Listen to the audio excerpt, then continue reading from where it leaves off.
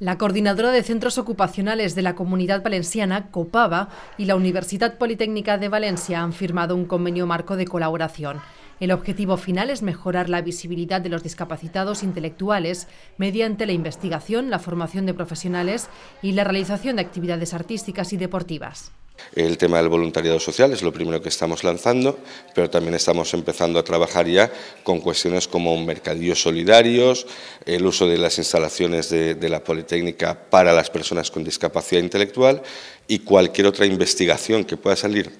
desde la Universidad Politécnica que tenga pues una población de cerca de 2.500 personas para poder realizar investigaciones. La relación entre Copava y la UPV surge con la colaboración de las escuelas de informática y telecomunicaciones con el Centro Ocupacional La Torre. El proyecto permitió la realización de numerosas actividades relacionadas con las TIC, como un proyecto audiovisual, la creación de una emisora de radio online y un taller de música electrònica. Hem firmat un conveni de tal manera que ara ens han donat, exemple, eh, el nom de tres centres el més proper a la universitat possible